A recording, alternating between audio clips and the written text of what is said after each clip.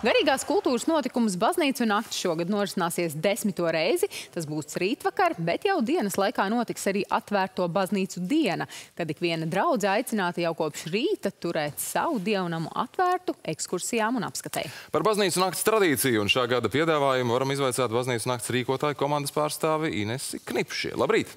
Labrīt! Labrīt! Desmitā reize jau baznīcas naktī nozīmē tradīcija, tāda jau ar nopietnu pienesumu sāk veidoties un vēsturi. Cik iesakņojusies tā ir un kā spēja aizraut publiku? Ko tad rāda mūsu baznīcas nakts? Vēsture, desmit gadus. Jā, jums taisnība. Pasākums patiešām ir unikāls, jo tas ir spējis pulcēt gan lielo pilsētu baznīcas, gan pavisam mazus dievnamus, pagastos, ciematos, novados visā Latvijā desmit gadu garumā. Un arī šogad mēs aicinām un atveram baznīcu durvis vismaz 180 dievnamos visā Latvijā. Plaša kultūras programma. Tā ir tiešām laba iespēja kaut pirmo reizi varbūt ienākt baznīcā un kā mēs aicinām jo, un joprojām atgādinām, ka šī ir atvērta baznīcu diena, kas sākas jau no pulkstens desmitiem, un atvērta tā ir arī savā kultūras programmā un daudzveidībā.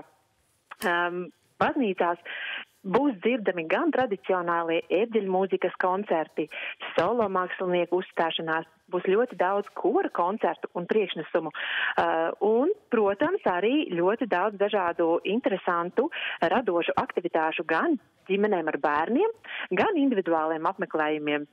Uh, Baznīcas būs atvērtas gan uh, ekskursijām, ko jau minējāt, no pulkstens desmitiem dienā, uh, gan ar plašākām kultūras programmām no sešiem vakarā. Mm. Varu vien teikt to, ka šoreiz šis pasākums tradicionāli norīt pamatā klātienē. Baznīca turs ir atvērts un gaida jūs um, visas dienas garumā, bet, ja gadījumā kādam nav iespēja doties uz baznīcu klātienē, tad uh, būs iespēja arī tiešsaistē skatīties visu uh, baznīcas nakts programmu no 6 vakarā līdz pat 10 vakarā. Baldonis evaņģēliskā luteriskās baznīcas sagatavotos priekšnesumus uh, baznīcas nakts Facebook vietnē. Mhm. Tā kā tiem, kuriem gadījumā nav iespēja aiziet klātienē, tad aicinām pieslēgties tieši saistē. Mhm.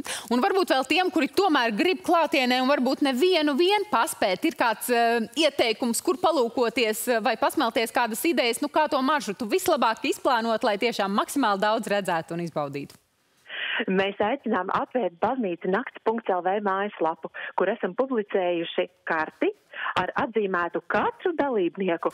Redzēsiet, tur būs vismaz 180 ieraksti un punktiņi. Uh, visa karte ir dalīta novados - vidzeme, kurzeme, zemgala, latgala.